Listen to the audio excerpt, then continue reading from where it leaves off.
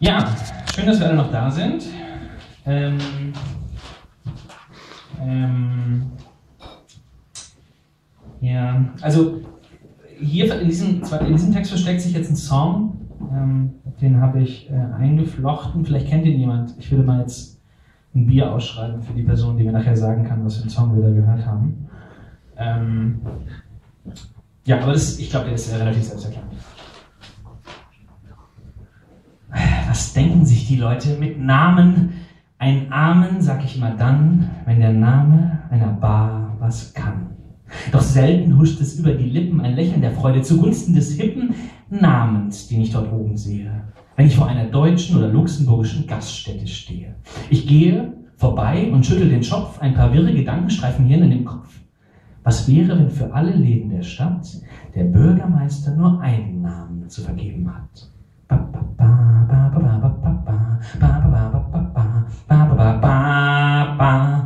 Wenn es ähnlich wie Schuluniform ganz adrett keine Diskriminierung gäbe, wie nett. Keine Diskriminierung von dummen Geschäften in alten Brauereien, in kaputten Gehöften. Was wäre, wenn sie alle nur Bar heißen dürften? Egal ob dort Reiche die Cocktails schlürfen, egal ob dort Rentner am Sonntag voll laufen oder 13-jährige Koma saufen.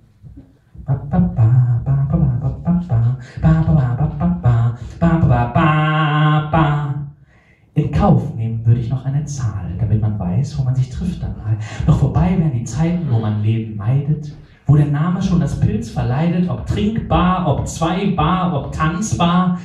Der Spaß ist hier selten verpflanzbar. Ich gehe ungern rein, man zwingt mich ewig mit mir, da ring ich, ob ich trotz ganz feudalem Schick drinnen heben kann meinen Blick, um darüber hinwegzusehen, wie es heißt. Das Lokal ganz schön dreist.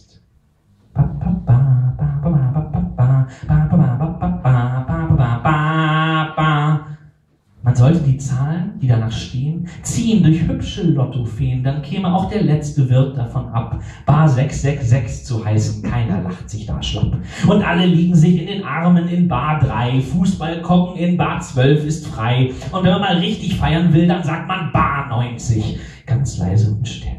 Und alle wissen Bescheid. Denn alle sind Namen wie Sansibar Light. Und die Vielfalt, ich guck ja, war immer begrenzt, war nicht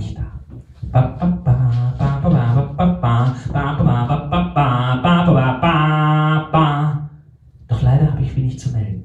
Zu sagen fast nichts. Es gibt andere Helden und jeder verwirklicht sich selbst ein Stück mit einem eigenen Namen ins eigene Glück.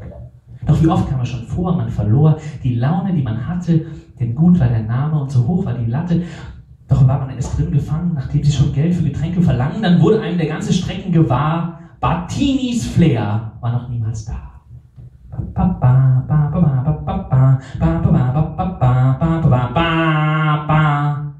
Man hat so die Lust Frust ist geboren, man leidet. Und wie sich der Wirt an einem weidet. Wie die Spinnen im Netz, es lohnt kein Gehetz, der Abend verloren. Ich hoffe, hier bei euch ist heute eine Bewegung.